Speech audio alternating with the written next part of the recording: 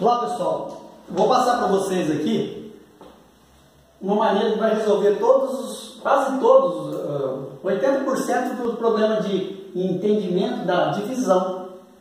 Uh, às vezes quando a gente aprende a ler partitura, a gente aprende a ler as notas, mas ainda não consegue dividir, tocar dentro de uma referência, dentro de um, corretamente uh, cada nota. Por exemplo, às vezes uma nota vale 0,75 como tocar 0,75? Essa é a questão de, dos alunos que estão aprendendo, está começando a estudar, não consegue. Pô, como vou tocar uma nota valendo 0,75, a outra nota valendo 0,25, a outra valendo 2, a outra valendo... Como que toca isso?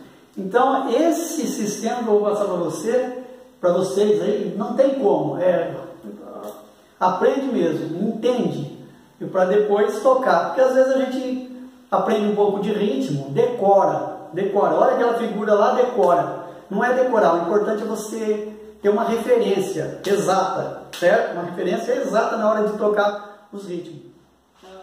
Olá pessoal, agora nós vamos passar para vocês uh, um estudo muito importante de ritmo.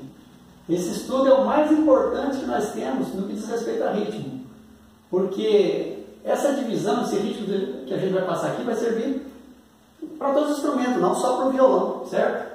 E de uma maneira bem, bem prática, que a gente vai entender bem a divisão, que a dificuldade da maioria do pessoal é esse, entender a divisão, como fazer a divisão correta.